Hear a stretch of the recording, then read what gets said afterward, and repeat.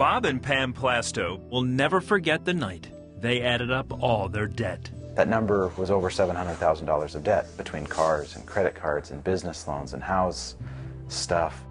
And I remember looking at him and saying, How in the world? How in the world did we do this? Bob and Pam began overspending in 2004.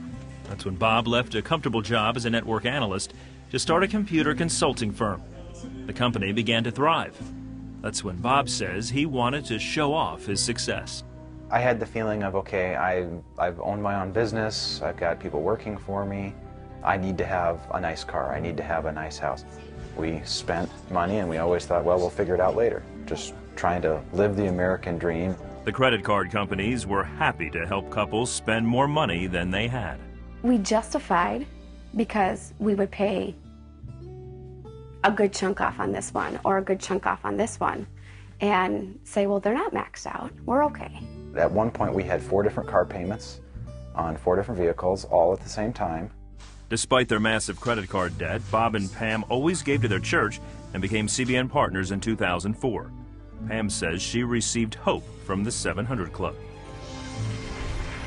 I believe it was Gordon that said if you have some financial um, difficulties, just cry out to God. Bob was praying about their financial condition too. That was definitely my moment of, okay, I, I humble myself before you, God. I, I, I've made mistakes. I'm, I, I'm sorry about those mistakes, and He dealt with my pride on that. Bob and Pam drastically cut their living expenses. No more dining out or expensive trips. For fun, we would play games. We would go for walks. We were staying home, we were eating together as a family. We, we had so much more together time. Then, Bob sold his brand new custom designed GT Mustang. I loved that car, and I loved that car, and I loved that car. And really felt God telling me, you have to get rid of that car.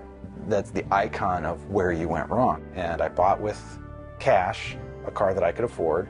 Then the couple made another unique decision. They increased their giving. It seemed like the more we gave, the more our debt went away. They used a graph to track their debt. Month by month, they saw it decrease. In 2006, their business profits tripled over the former year and then doubled again in 2007.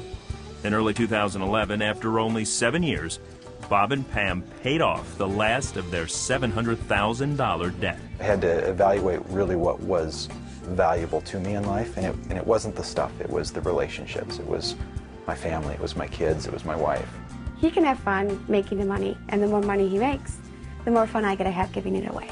When you tithe and when you're obedient with what he gives you, he blesses you.